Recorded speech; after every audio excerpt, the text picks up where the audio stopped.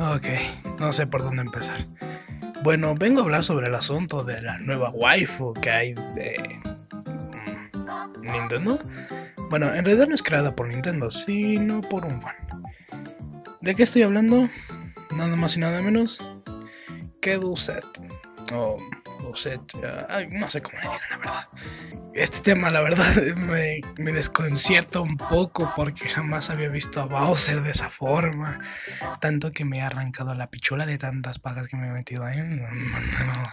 En fin, ¿de dónde surgió? ¿Por qué tanta polémica?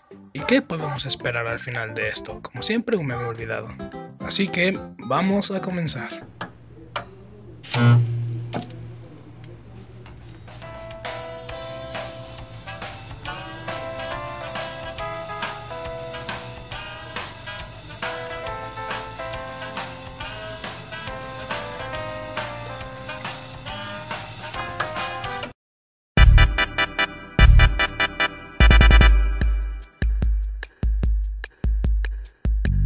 Bueno, este personaje principalmente se empezó a viralizar este fin de semana, 23 y 22 de septiembre, sí, sábado y domingo, pero empezó un poquito antes, desde el viernes, con la publicación de Haniwa o su título oficial AIK 92, en el cual decía la super corona es un poco picante, nuevo Mario Lore.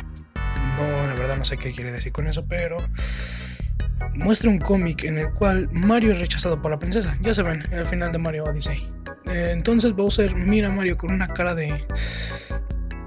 Dios, hijo, debemos de hacer algo para que vengarnos. Y él, no, pues sí, a huevos, sí, sí, yo digo que sí. Y es cuando saca la corona. ¿De dónde salió esta corona? Bueno, con, la, con el anuncio sobre Nintendo Switch, que iba a ser el New Super Mario Bros. U Deluxe,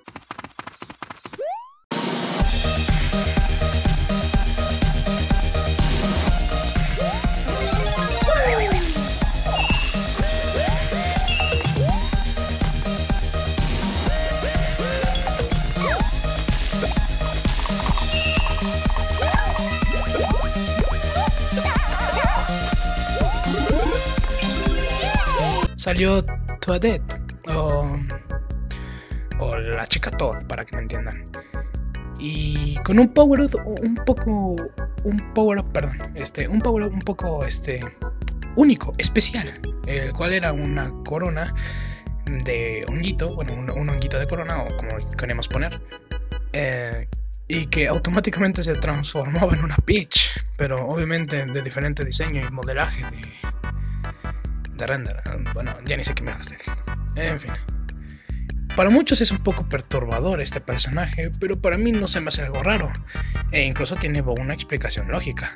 Quiero suponer que Nintendo hará eso, ¿verdad? Pero, oh vaya, después de ver esto, muchos se quedaron con cara de, what the fuck, se puede convertir en una Peach todo ese pedo. También surgió otro meme, pero creo que ese no fue tan valorado. Incluso yo pensaba que iban a haber teorías sobre, no sé, que Peach es un impostor. Y no solo eso, sino que me da, no sé, un sentimiento extraño de haber convertido a Yoshi y a varios personajes en waifus.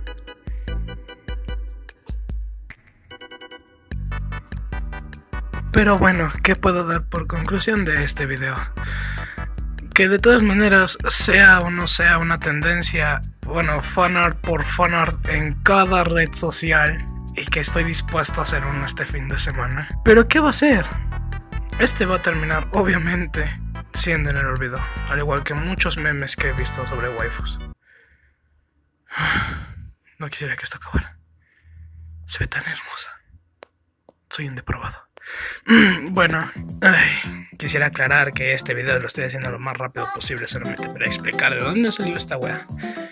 Haniwa incluso subió varios tweets en donde se arrepiente de haber creado a Busit o Bowsetter o como se diga. No, la verdad no entiendo cómo se dice, verdad.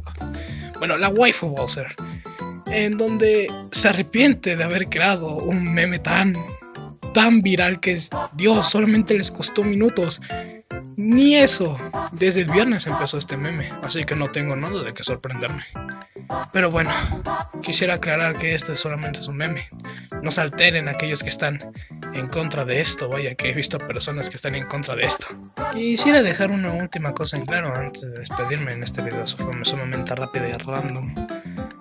Subiré, seguiré subiendo videos sobre este tipo de opiniones así acerca de cosas virales en internet. Obviamente diciendo que al final van a ser olvidados por la gente y los niños que siempre están atentos. Bueno, eso ha sido todo. Ya sabes, sobra mucho decir que me sigas en redes sociales. Al igual de que te recomiendo varios canales. Como por ejemplo el de la vida de Juano, uno de mis mejores amigos que está iniciando YouTube. Créeme, es muy bueno. Bueno, acabando esto, creo que me despido. Soy NeoX y nos veremos hasta el siguiente video. Bye.